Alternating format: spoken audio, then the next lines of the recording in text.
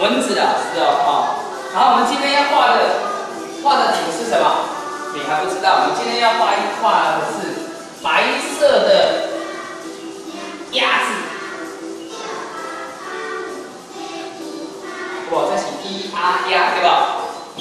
对不对？对不对？啊啊？对不对？好，我们现在我们要来画的。好，你有没有看过白色的鸭子？没有？你看过？要举手。不是，讲话要举手。好，你有看过鸭子。还是鹅？鸭子，你呢？有。你看过鸭子。还是鹅？我有。啊，你有没有看过鸭子？你有没有看过鸭子？没有。温志老师有没有看过鸭子？哦，有看到天鹅。你有看到天鹅？你会不会画鸭子？会的举手。我。哎，不能太大声。我。会画的举手。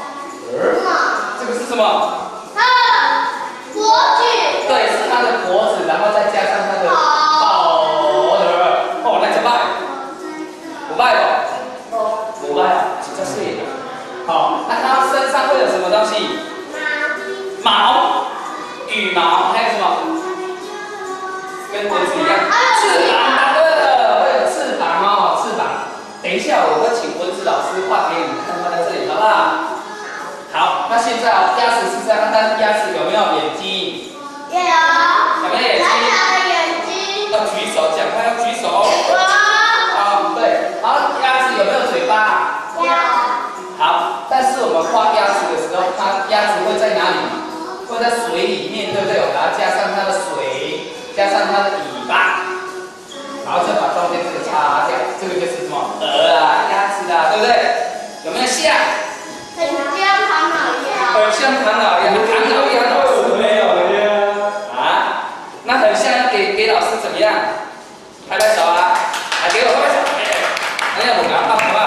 啊啊！好，给我拍拍手一下，给老师拍拍手。等一下啊，我们等一下画这个鸭子要画几只？画一只。一只不够，你再来。有没有人举手？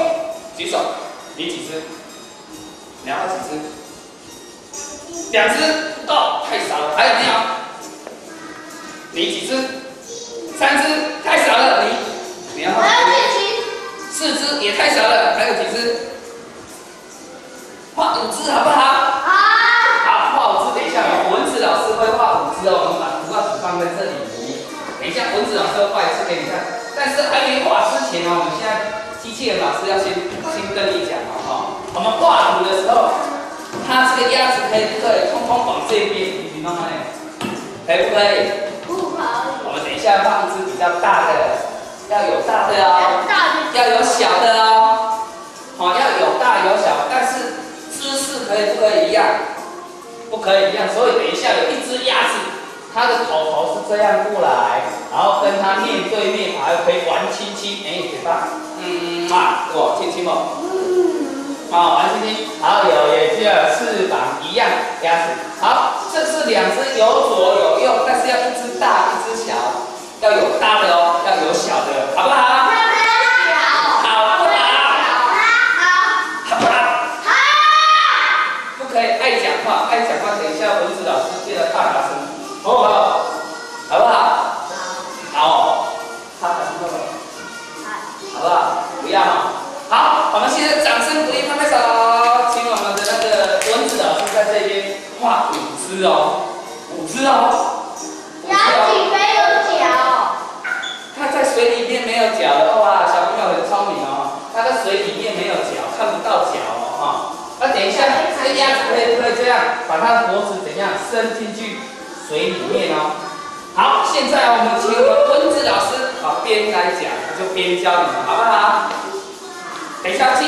ティスま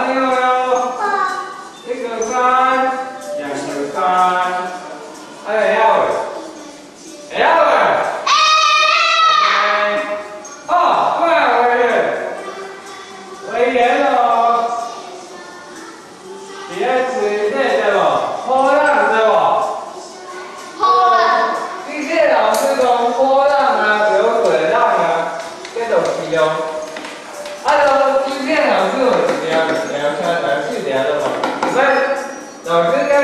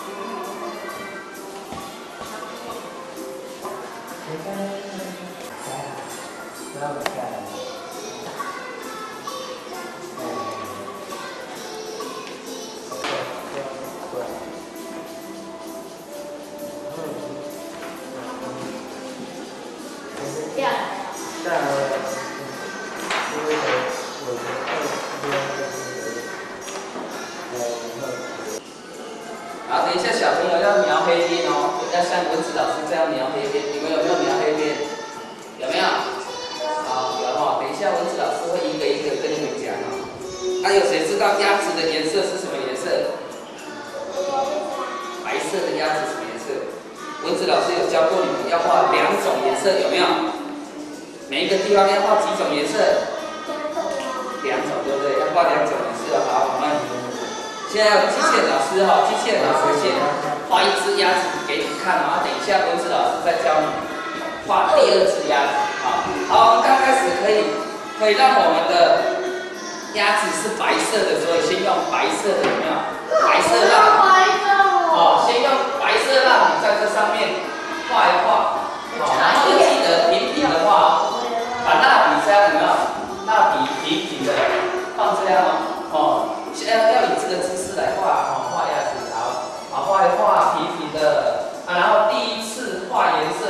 蜡笔的颜色要很轻轻的就好了，有颜色就好了，轻轻它等会啊，哦，轻轻的，然后鸭子的第二种颜色我们可以再加上。皮肤色，哦，皮肤色，所以我们也可以这样画，哦，也可以这样画，再把它加上皮肤色，大一点呐。好，就变成了这样的一个鸭子。好，要记得平平的哦。鸭子的嘴巴什么颜色？有谁知道？白。黄色，黄色。所以我们等一下，鸭子的嘴巴比较小，这个地方比较小，所以我们直接拿这样的笔拿这样就好了。好，再把它画上鸭子的嘴巴。好，然后它的水可以用一点白色的白色的蜡笔在这上面画一画。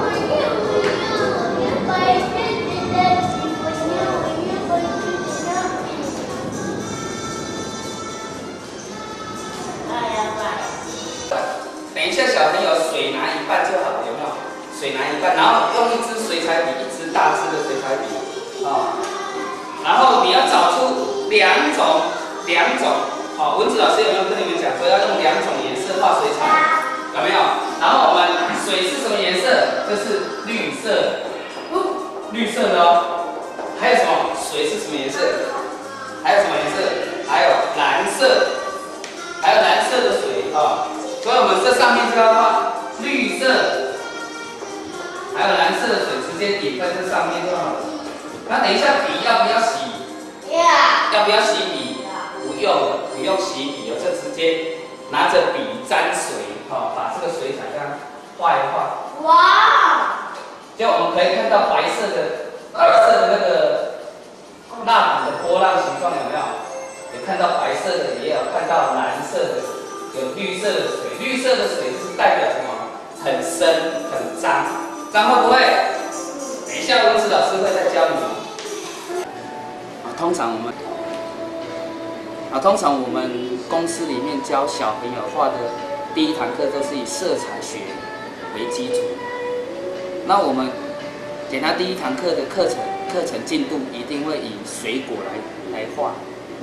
那水果我们要要。引导小朋友画出五种水果，好，这五种水果里面要五种颜色。那我们由这五种颜色、五种水果来引导，让小朋友慢慢的让他进入这个色彩学的观念。那我们教小朋友从幼稚园的中班、大班到国小一二三年级，通常他上的颜色都是有两种颜色。那我们现在第一个第一个过程教学过程是用铅笔。用这种免削的，不可以用自动铅笔。然后这种免削铅笔，就是这个已经削好的这种铅笔，然后不不是那种自动的挤压式的铅笔，所以我们就要先引导啊。那那小朋友，我们小朋友喜欢吃什么水果啊？然后要请小朋友去讲说，好，那小朋友举手，哦，你喜欢吃的水果是什么东西？好，就有小朋友说，啊，我喜欢西吃西瓜、苹果，好，奇异果，哎，葡萄，然后。香蕉、芭乐和很多很多，那我们就引导出我们喜欢的五种哦，就把这五种哦五种水果把它列出来，然后就跟他讲说，好，苹果，苹果会比我们的拳头大吗？会不会比我们拳头大？所以我们就要固定这个这个东西，哦，就给他一个公式，啊，希望他们画图画的越大越好，啊，有的人说，哦。图画的越大，就代表他的心胸比较宽大。如果小朋友画的图很小，那他的心思比较细腻，然后创作的过程就不会那么活泼。所以我们就尽量引导我们小朋友哈，画的越大越好，画的越越大越好。所以说，我们就第第一个公式是说，小朋友要画的比我们拳头大哦，然后比拳头大的东西要比我们的手掌长哦。所以我们画图的时候就就会有说有大有小有左有右有上有下有前有后都不一样。好，那我们就就引导小朋友画第一个啊西瓜啊这个西瓜我们用手来量一下哦，好，然后要比我们的手掌大，所以我们就引导他先用铅笔画一个大西瓜。那以小朋友幼稚园的小朋友来讲，它还是平面的东西。平面的东西，所以我们就是用画一个大西瓜。那大西瓜这个西瓜的上面，我们还要引导说小朋友，西瓜上面还有那个斑纹哦，比较深颜色的纹路，我们还是要要把它画出来。所以我们当老师的就指他引导，好引导他。然后这个西瓜先把它画在这个图画纸里面的中间，在中间。然后这个这个后面就有一个尾巴，猪尾巴。好，第一个就铅笔的构图画出了西瓜。好，那小朋友喜欢。喜欢苹果，我们可以画在哪里？这里，还是这里，还是这里，还是这里？让小朋友自己来选择。好，然后这个时候我们还要教他色彩的观念。好，小朋友，西瓜什么颜色？那什么颜色？就是说，他们小朋友会说绿色啊，哦，啊，那绿色我们就要记得啊，绿色还可以用一种美语的教学方法啊。好，绿色我们的英文怎样讲啊？好，green，green 的绿色。好，然后我就说啊，古令绿色。那以后我们画山，画高山，画树叶，都是绿色哦，跟西瓜的颜色一样。所以今天老师教你画的西瓜的颜色，你就要记下来。好，再来画苹果，苹果，我们可以先画一个麦当劳。好，画一个麦当劳，哎，下面有一个麦当劳。然后呢，这中间有一只，这一只叫什么？啊，这只小朋友不知道，它就是梗。好，苹果什么颜色？红色，红色就是 blue，红色是 blue。哦，然后呢，这里小朋友喜欢画什么？啊，举手发问啊，讲一下。好，这里他喜欢画什么？画第一种颜色跟第二种颜色、第三种颜色，三种颜色都不一样。好，他说我喜欢画橘子、蛤蟆。好，蛤蟆是一个圆形的，也是一样啊，要比拳头大。都一直要耳提面命，好，然后这个中间啊，橘子是要这样啊，这里有一只梗，还有长出了一个树叶，哦，然后这上面有斑点，点点点这样，好，橘子就画好了，画了之后，我们就再引导他画出第三种颜色的水果，第三种颜色有什么？可能就是会有香蕉，那接着我们就画出来，引导小朋友画出第三种水果，那第三种水果我们。尽量让让他从从我们的左手边来开始画，所以我我这一边就要引导他说，这一我这里要画一只香蕉，那香蕉是画一只就好了啊。香蕉是什么颜色？黄色。然后我说哦，画了一个 Nike 的形状，然后下面再加了一个小小的形状，然后再加了加上它的它的一个地出来，哦，就变成了一只香蕉。然后这里稍微稍微修一下，变成圆形的，啊，就香蕉是黄色的啊。苹果是红色的，然后黄色我们就讲啊，那小朋友会不会讲美语啊？yellow 就是黄色，绿色 green，啊，橘子是橘子是 orange，啊，红色是 red，然后顺便给给他一些美语的教学，颜色的教学这样，然后再来就就是说啊，我们这个，哎，我我今天要画一个哎奇异果，然后奇异果上面会有很多很多毛，然后这上面有一只那个奇异果是什么颜色啊？就土黄色啊，咖啡色，所以我们这里就有五种颜色。那我们五种颜色再来引导说，好，刚刚我讲过了，西瓜就是代表山的颜色，好，苹果是什么颜色？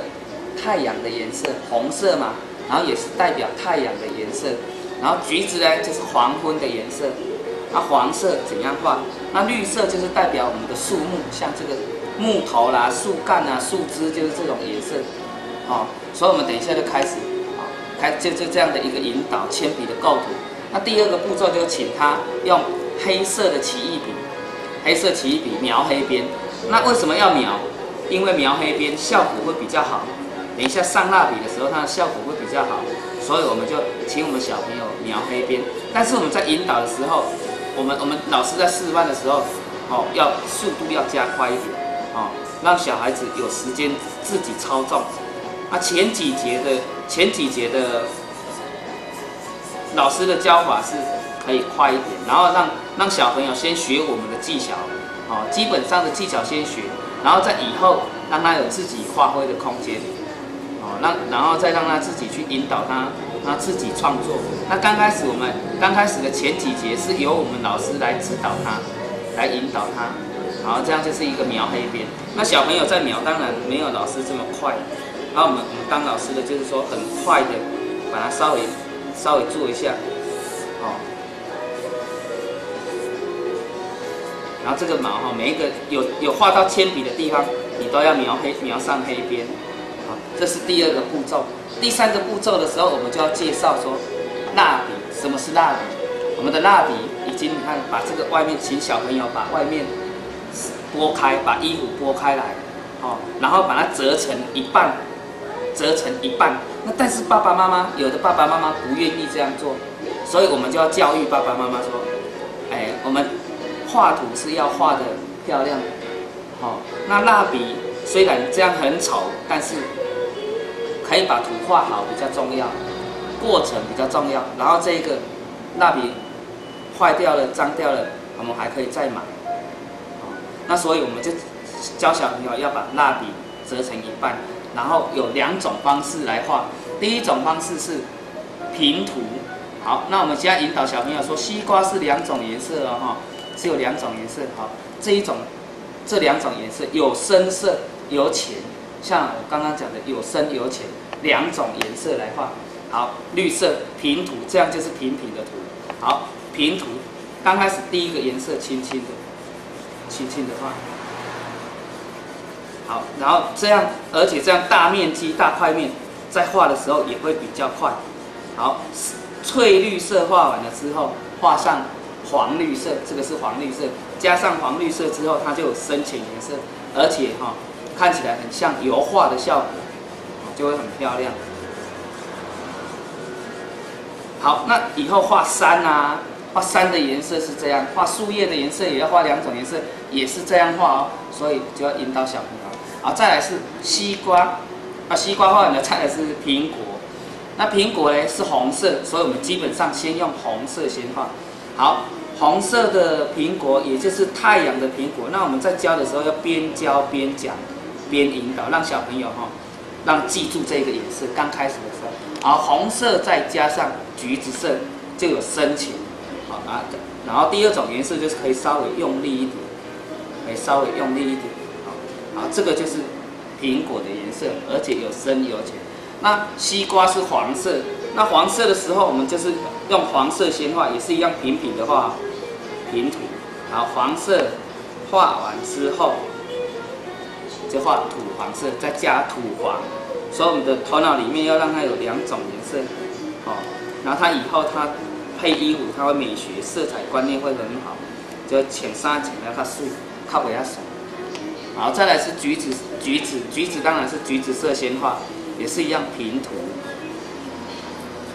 好平涂，然后再加上黄色，好，以后它橘子的时候，黄昏的时候就会说黄昏就是画红色、黄色跟橘色，啊，而且这样颜色很漂亮。那叶子呢？叶子就一样，叶叶子跟西瓜的颜色是一样，啊，所以也是要平平的画，然后再加上黄绿色。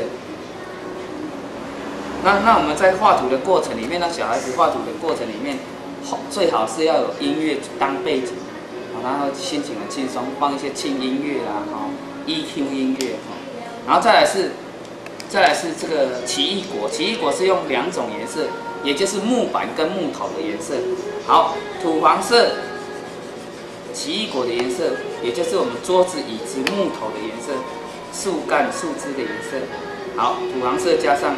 咖啡色，这个就是奇异果的颜色。好，那其他的这个也是一样，这个就小的地方就可以拿直直的，小的地方就可以拿直直的这样画，也是要加两种颜色。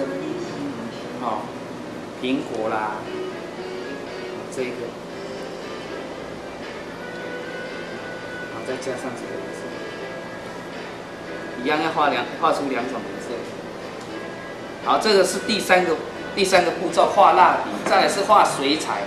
那水彩我们就要请小朋友选出两种两种自己喜欢的颜色，自己喜欢的水彩，两种水彩，但是要记得不要让它红配绿，哦，不要让它红配绿，这是不对的，好，所以我们就要引导他说这样。那还有引导蜡笔，讲到水彩哈，还有蜡笔不要用黑色。不要用黑色的东西，水彩可以不可以用黑色？可以，但是尽量少用哈。然后我们就请他在图画纸的后面，就白色的地方背景，找出一个点点点的地方来画，哦。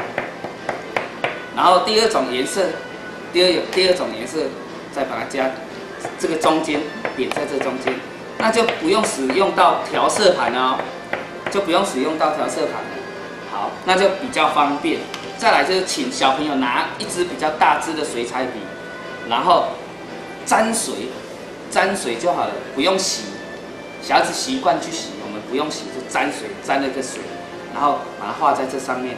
你看两种颜色又有渲染的效果。哦，这上面哦，但是你让它方向尽量一样，不要一下子这样这样，方向一样。好，水彩碰到蜡笔是不不怕的，因为蜡笔我们现在用的粉蜡笔是。是油性的，水彩是水性的，所以它不怕。那全部都要涂满，全部都要涂满。好，我们现在刚跟老师介绍的是这样。然后这个刚刚是平涂法，还有一种叫做，还有一种是蜡笔的平涂法。用完了，刚刚那个用完了之后，再来是蜡笔的渲染法。怎样渲染？只要小朋友画久了之后，他已经学过蛮多期。好，一起两起之后，我们水彩会有那个蜡笔会有很多的技巧，就好像一个花瓣。这个花瓣哦，这个花瓣，我们它已经要有两种颜色，所以我们就要找出找出两三种颜色，把它加在这上面。但是不是平涂哦，现在这个是渲染法，好，蜡笔的渲染法，我们平常以后也可以。也可以教小朋友用这种方式，哦，好，刚开始黄色的用直直的把整个构图的地方涂满，黄色的画完之后，再加上粉红色或是红色，随便啊，什么颜色都可以，你再把它涂了，哦，它就有深浅，这样就有深浅。好，但是这个两种蜡笔的之间这里就会有渲染到。它会会有涂涂涂满到，好，然后再加上第三种颜色，再加加上第三种颜色，这样看起来哈，它会有很多的效果，这样的一个效果。好，这种叫渲染法，哦，这样的就黄色、粉红色、红色，那中间还有还有它交叉的层次的颜色，哦，然后这个尽量把它让让它涂到满。涂满，那还有可以用蜡笔哦，像像水的地方，水的地方，水喷出来，我们可以涂好，好，也是要用两种颜色，然后我们就加上白色，加上白色，那我们可以用手指把它搓一搓，这两种颜色嘛搓一搓，这样也是一种渲染的效果。好，蜡笔就有很多的技巧。啊，不管我们上什么课，不管美术课、作文课、音乐课、舞蹈课、美语、体能课，上完课最后要请他小朋友把图画纸，哦，如果像刚刚这个，刚刚这个是湿的，我们要请小朋友拿到旁边放好，把，桌子把它擦干净，桌子擦干净，然后就还有我们要给他一个卫生教育，就是请他去洗手。那洗手我们可以可以让他很多种方式让他去洗手，可以半开玩笑，好说，来小朋友，手心、手背，啊，心肝宝贝，然后巴布巴布。跟他玩一下游戏，啊，然后俄语化，啊，让让小朋友听懂，然后桌子要擦干净啊，椅子要靠拢啊，啊，东西要收好，啊，然后这个这个蜡笔让他让他尽量养成他收拾收拾的习惯，这个就是常规教育，哦，这平常就我们我们就要要在这里训练他，所以所以你只要看到那一个小孩子他的用具很整齐的话，那这一个小孩子就是我们教育教的很很很成功。然后东西就收好，好，然后用完东西物放放回原处，哦，物归原处，好，东西收好，然后这个好水一半就好了，水用一半，不然小孩子会弄倒。然后笔洗一洗，东西收拾干净，啊，收好，好，这是结束的时候。那最后有一个要点说，啊，要教小朋友礼节。谢谢老师，好，谢谢小朋友，好，小朋友再见。那那你指导小朋友收拾收拾的图画纸，请他卷起来，当卷起来，然后橡皮筋，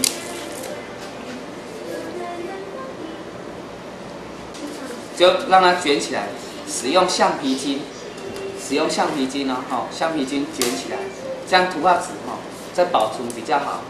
好，不要用折的，折的时候，你如果用折痕会这样，中间会有一一个痕迹，哦，所以我们尽量指导小朋友用卷的，用卷的，哦，卷起来，就跟刚刚那那样，哦，